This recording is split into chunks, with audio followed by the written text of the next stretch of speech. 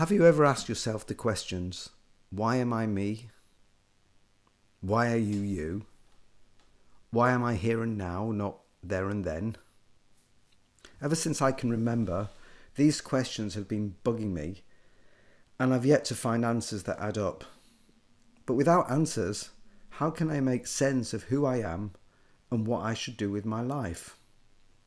The best I have managed is that it's all just down to chance. As simple as that.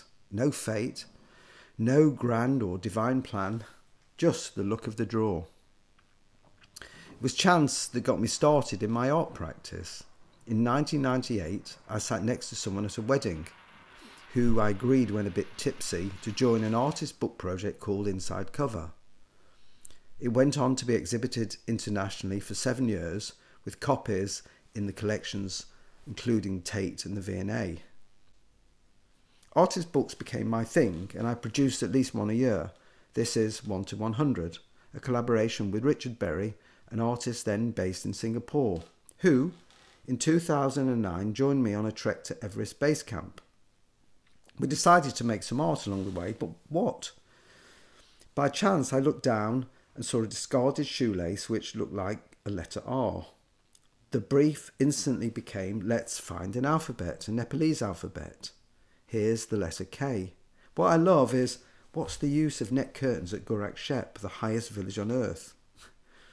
This alphabet led to 25 others, each beginning with different letters of the alphabet. This is a letter N from Douro Valley in Portugal, which is famous for its wine. A letter Q from a Paris alphabet. The themes were more than destinational, though. F from an upside down alphabet, and my favourite of the 26 by my son, who's actually a physicist, is a missing letter alphabet. It's missing the letter L. It's there, but it's not there. After 11 years, we've finished the project, which involved at least 15 people creating 26 differently themed photographic alphabets, which is now available in an edition of 26, of course. It was chance too that in 2015, walking along a beach in Tobago, I couldn't help but notice the abundance of washed up flip flops, bottle tops, and rope. They spoke to me saying, Pick me up, take me home, reveal my personality. Seizing this chance led to me making assemblages, sculptures, and drawings using found objects. This is me with Cecilia at the Royal Academy in 2016. Two bits of a wrecked Toyota Sugru together. On reaching a certain age, it was time to start getting some proper art training, and chance led me to a short course at the Royal Drawing School. I was more interested in my fellow artists than drawing the models, which I guess reflected my insubordinate character. I found being back at school a double edged sword. I loved learning, but hated being taught. The artist working on the next door easel, is that a proper term? Claudia Rampelli, became a collaborator, critic, and good friend, and she persuaded me to join her on the two year City Lit Fine Art course. When putting this little video together as the course comes to an end, I reflected that I had been utilising chance in projects before focus on it in the second year in our painting module, I made this work, which can be continually assembled and reassembled in numerous ways. I asked all my classmates to pick up a tile and when ready, add it to the work. But when photographing it recently, I found I was missing a tile, but I'll sort that out later. So rather than chance being incidental yet integral to my work, I've now moved it to centre stage to generate data for investigation like a piece of scientific research. I set up experiments and observe, notate, and then communicate the outcomes or results. This video is a snapshot of my work in progress. It started last year when my class formed a syndicate to play the National Lottery, aiming to win big and buy a studio for us all. The syndicate folded pretty quickly, but Claudia and I are still doing it. We haven't won yet, but hey, there's always next week. Human beings try to make sense out of the world around us so we can navigate safely our way through, knowing what to ignore or what to beware of. But it goes beyond the physical because we live in both that world and the ethereal. And not just understand those worlds, but I suggest exercise some control over them. That's why so many people are drawn to horoscopes, the I Ching, tarot, the Book of Answers, etc. When we play the lottery, certain numbers feel good or lucky more than others. They seem worth taking a chance on. So, what's rather than is there the relationship between the numbers we choose and the numbers drawn every week by the lottery machine? Are six numbers versus their six out of 59 possibles? I made careful notes of the six numbers selected by Claudia and the winning numbers drawn by Arthur, Merlin, Guinevere, etc. At first, I made sketches trying to find a graphic representation of this relationship, but I felt there was something deeper, hidden that I needed to uncover. I had a hunch that there's a code that needed cracking. And then, as if by chance, I remembered that places are described by the coordinates x degrees, y minutes, z seconds north, and a degrees, b minutes, c seconds east. Six numbers in total. So our six numbers identify one location and the lottery six numbers another. And perhaps the proximity of the two locations to each other represent how lucky we are. So how do I go out visualizing this? Well, I stencil letters on standard size sheets of paper, which happen to be exactly the same size as the light boxes in the stairway in City Lit. I installed the first pair and left them in situ. They lasted a day or so, but that set me thinking about an installation of the work at some point when we have completed 59 draws. Since lockdown, I've been using the Weekend Financial Times to draw on as it's the same size as the paper available at college.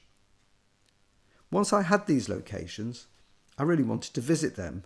You have to marvel at Google Maps. I started plotting the two places so I could see how close or far away they were, and it was astonishing, not a particularly scientific remark, at what I found there.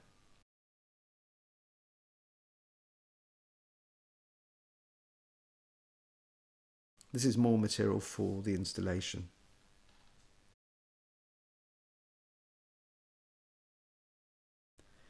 Me and you. There have been over two and a half thousand lottery draws. My physicist son, handy in Excel, showed me how to take every number and convert it to the equivalent tint of black, almost at a keystroke. So number 10 is 10% black, 53 is 53% black, 42 is 42% black. This was generating some rather nice artworks, but so what? There hasn't been much else to read in the papers recently other than COVID stories. And by chance, I read that the DNA of every human alive today, every human who has ever lived, and every human who will live in the future is 99.9% the same. So you and I are so, so similar, despite all the apparent differences that, in particular, populist politicians may like us to perceive. Me and you are two one metre artworks, each a matrix of 100 by 100, a total of 10,000 tinted squares generated by over 1,600 consecutive lottery draws. 99.9% of all the squares are the same on both drawings. With 10 squares different, that represents the 0.1% between our DNAs. I defy you to spot the difference.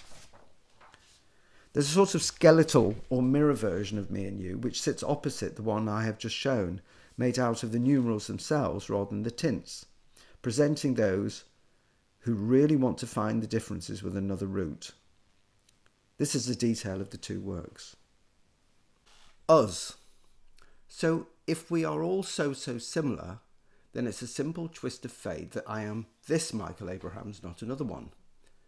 I've pondered this for a long time and collected images of 59 other me's, but they were all such small images, highly pixelated, which were unusable or unrecognizable until, paired with the you and me, they complement perfectly. These are a few of us.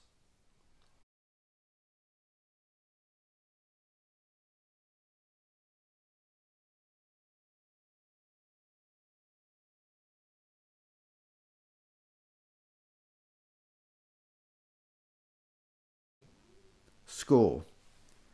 The rows of numbers also suggested to me some form of musical notation. I selected at random 20 consecutive draws, score, and asked my classmates and others to read the numbers in their mother tongue. I find the texture and tonality of, of the overlapping sounds mantra like. And because the readings of the numbers are never exactly even, they very soon become out of phase and, when looped, set up an ever evolving melody. I invited the participants to supply me with images that they feel aligned with the numbers they have read. I've begun looking at ways to combine the sounds with the multiple images. For example, here are 59 images by artist Simon Head, who also reads in two versions of a video combining his images in different overlapping ways. 52, 29, 10, 40, 50, 10, 11, 50, 53, 29, 80, 30, 25, 41, 20, 40, 37, 40, 80, 70, 40, 28, 90, 42, 40, 58, 34, 20, 46, 38, 11, 29, 10, 40, 37, 50, 10, 11, 50, 53, 29, 80, 30, 25, 41, 20, 40, 37, 40, 80, 70, 40, 28, 90, 42, 40, 58, 34, 20, 46, 38, 11, 27, 8, 50, 70, 24, 24. This is all work in progress, and I have a bank of readings and images to build into artworks for installation in 2021. They include a reading in Mandarin, which I find particularly interesting because I hear only the abstract sounds that don't have a direct meaning. 三十、十二、三四、十一、二十八、十四、二十二、八、四三十五、四十、二十八、三十七、二十三、十七、四十五、二四、四十八、二十八、十四、四十三。 Ting Poon, who collaborated with me, has sent images selected by her daughter, who, by chance, has synesthesia. Numerals for her have strong colour associations. This video is in process. I also have a desire to perform Score live with 15 musicians and have written this plan for its enactment. And finally, I hope you've enjoyed this whistle stop tour of my recent work. I'm planning an exhibition of these projects in 2021, provided COVID restrictions are obviously lifted. Here's a taste of what to expect. Here and there, 59 pairs of lottery generated locations and images of place. Me and you, our common DNA, and us, 59 Michael Abrahams, and score, looped, overlaid readings of numbers and images. And very finally, I'd very much like to know what you think of this video, so please get in touch. If you'd like to arrange a private view of my work in a location of your choosing, know more about my art, collaborate or participate in projects, or just to be kept informed of my practice, please contact me anytime by email or by phone. Thank you for watching.